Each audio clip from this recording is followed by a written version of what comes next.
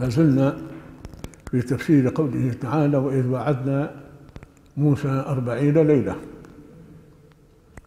وقراءة جمهور وعدنا بالألف بعد الواو.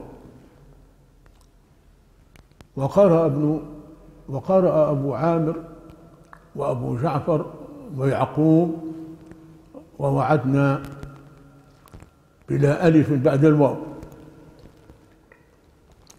وذلك في المواقع الثلاثة في القرآن الكريم.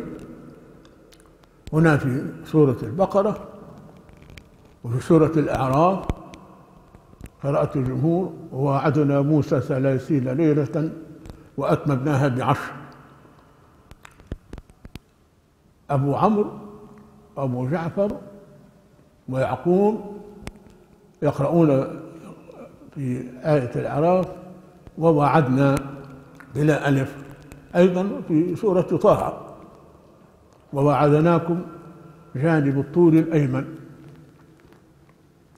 ففي هذه المواقع الثلاثة التي ذكر فيها كلمة واعدنا يقرأها الجمهور بالواو واعدنا